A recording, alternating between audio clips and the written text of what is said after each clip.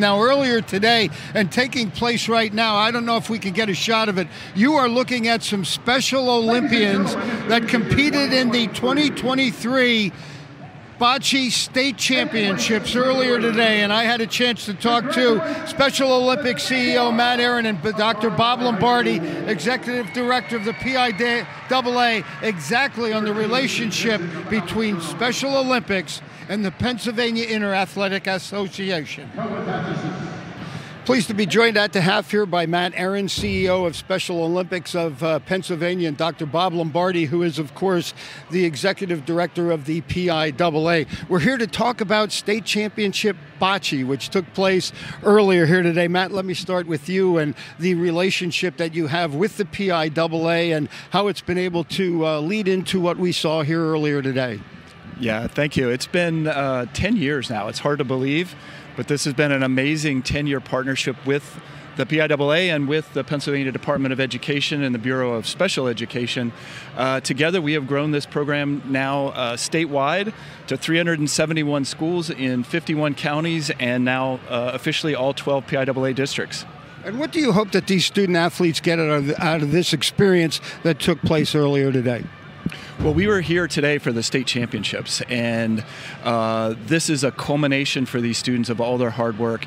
And the most powerful thing about this program is it is just like any other varsity sport in the school. So, all the students who were here today uh, earned the opportunity through regional championships to represent their school here at a championship.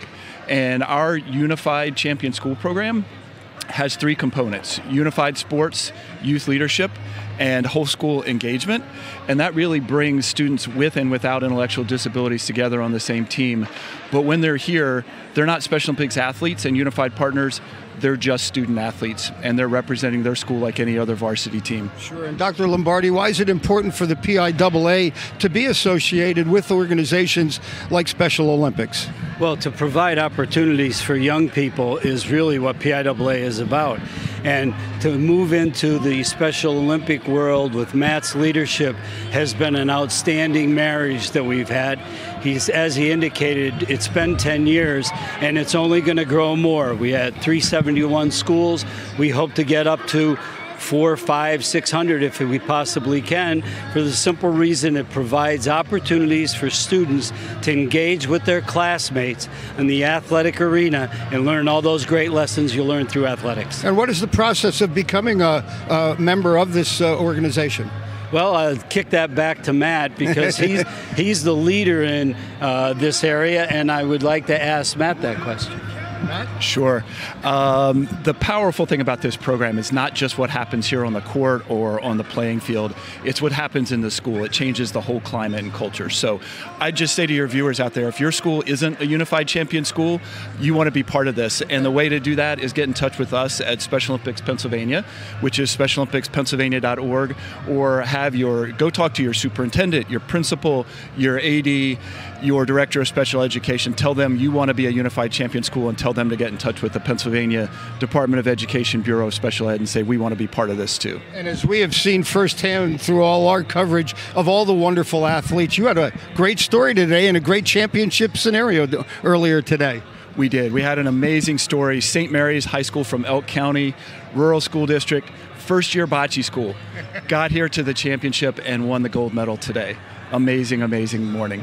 What do you look forward uh, to most in the future for Special Olympics and this relationship with the PIAA?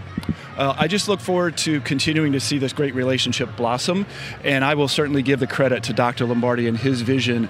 We started at Frankford High School 10 years ago when we formed this relationship to advance unified sports. I couldn't have dreamed we'd be in 371 schools today, but the, the future is bright. Our target is uh, 550 schools by the end of 2025, and, and together we're going to do that. And Dr. Lombardi, to be able to share this stage with the student athletes, we're going to see basketball over the weekend, but this stage is just phenomenal for these youngsters. Oh, it's tremendous, and they get to compete on the championship floor here at the Giant Center. Also, with it, we get to do our awards at halftime of our first game, mm-hmm. the Double A girls kickoff game. So it's been a great relationship that we're going to grow uh, as Matt Matt said, uh, he's awful humble about it, but it really he's the moving, the mover and shaker behind this. He and Mike uh, Bavino really are the folks that are establishing this program and having young people participate in something. And also, we have track and we have unified sure. sports and yep, track and yep. field this spring, and we're really looking forward to that because we're also expanding our wheelchair divisions as well as our para.